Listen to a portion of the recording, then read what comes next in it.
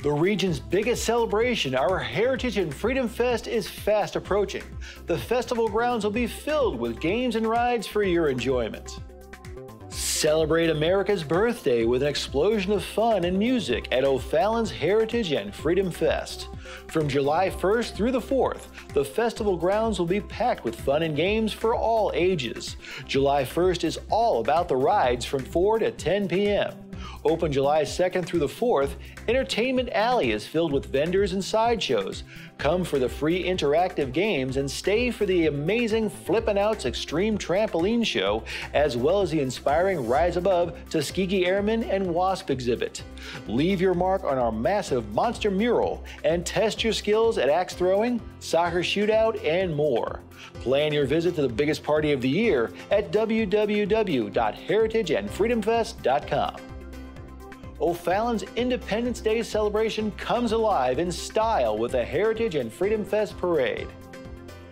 Dress in patriotic red, white, and blue and bring your family to downtown O'Fallon to cheer for your favorite entries in the biggest 4th of July parade in St. Charles County.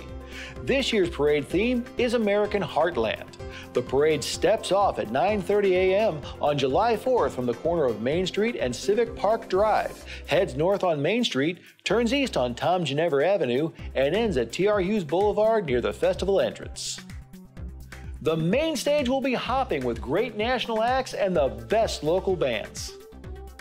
Great free concerts will be featured on the festival grounds at the Ozzie Smith Sports Complex.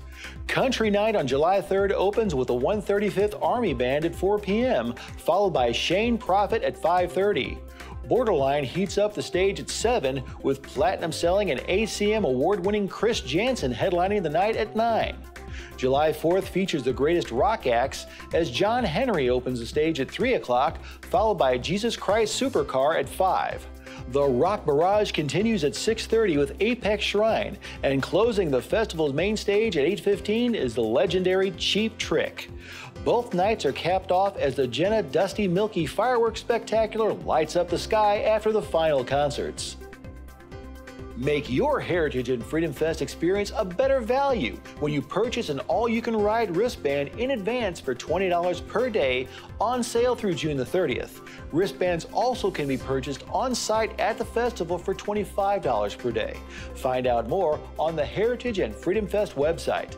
That's all for this episode of the O'Fallon Update. Join us for more stories on Friday, July the 1st.